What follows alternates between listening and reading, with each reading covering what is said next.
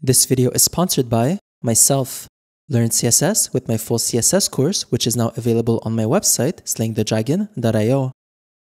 In this lesson, we go over one of my favorite features in the CSS language, custom properties, or also often referred to as CSS variables. CSS variables allow a value to be stored in one place, then referenced in multiple other places. In my index.html, inside my empty body element, I'll add an h1 element with the class of title, and that displays hello world.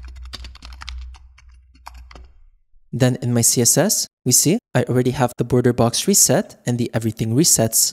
Now let's say I wanted to change the color of the background. I'll select the body element, give it the background color property, and I'll set it to hashtag 0200617.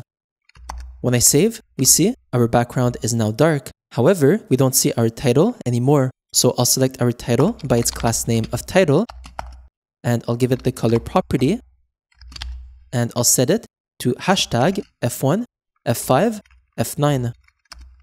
When I save, we see our title is now white. I'll head back to my index.html, and under our title, I'll add a paragraph with the class of description and that displays some filler text. Then, in my CSS, I'll select our paragraph by its class name of description, and I'll give it the color property of hashtag 9483b8. When I save, we see our paragraph is a darker shade of white.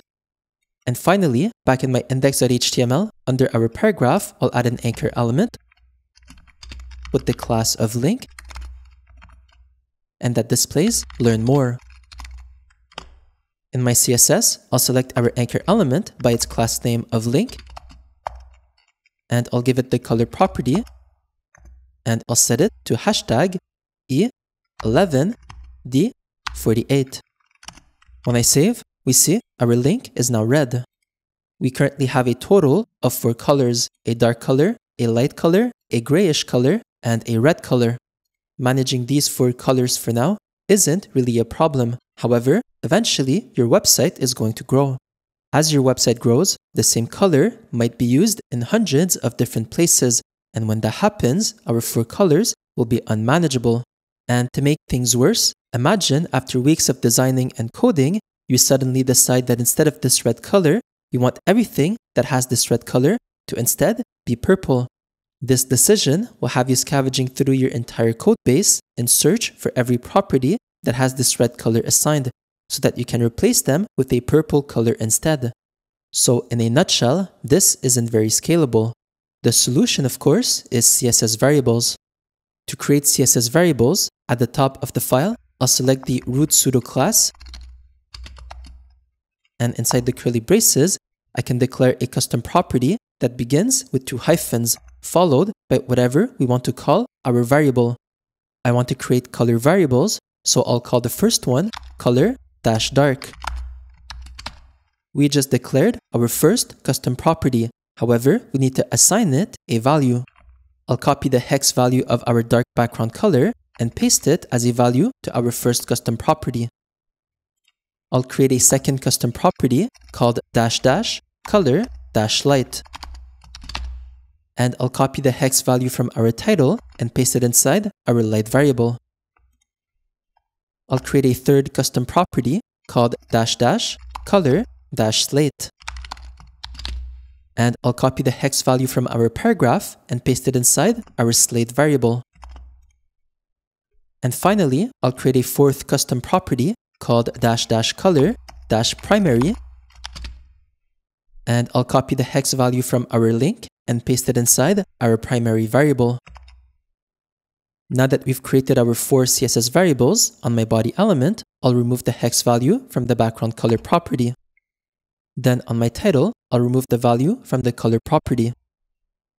On the description, I'll remove the value from the color property.